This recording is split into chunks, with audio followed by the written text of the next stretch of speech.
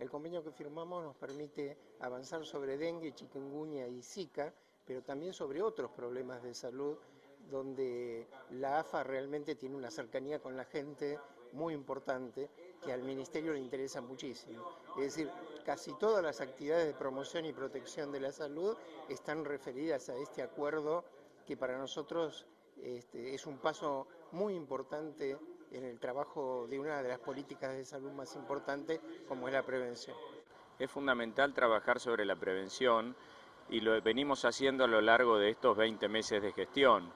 Ahora mismo estamos empezando la nueva campaña de lucha contra el mosquito. Nosotros sabemos que hay fundamentalmente tres enfermedades transmitidas por mosquito, dengue, zika y chikungunya, donde las acciones más importantes son las que vienen del saneamiento ambiental en cada uno de los domicilios por parte de la propia población. Para esto es fundamental educar, concientizar y llamar a la acción de la población. Yo creo que es importantísimo para nosotros poder aportarle desde el fútbol argentino la posibilidad a un montón, a muchísimos chicos eh, a nivel nacional. El fútbol eh, argentino organiza por fin de semana 3.600 partidos de fútbol, entre fútbol playa, fútbol femenino, futsal masculino, inferiores, ligas,